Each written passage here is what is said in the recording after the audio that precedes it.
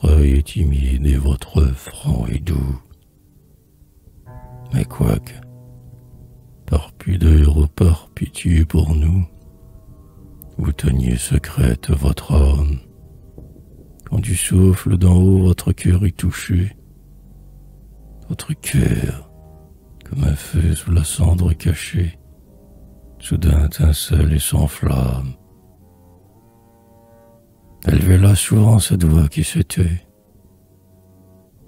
Quand vous vint au jour un rossignol chantait, un astre charmant vous vit naître.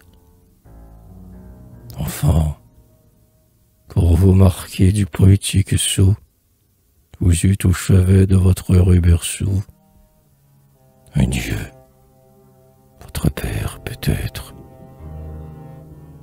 de vierges, poésie, musique, de sœurs, vous font une pensée infinie en douceur. Votre génie a deux aurores, et votre esprit tantôt s'épanche en vers touchant, tantôt sur le clavier qui frémit sous vos chants, s'éparpille en notes sonores. Ah, vous faites rêver le poète le soir. Souvent il songe à vous lorsque le ciel est noir, quand minuit déroule ses voiles. Car l'âme du poète, âme d'ombre et d'amour, est une fleur des nuits qui s'ouvre après le jour et s'épanouit aux étoiles.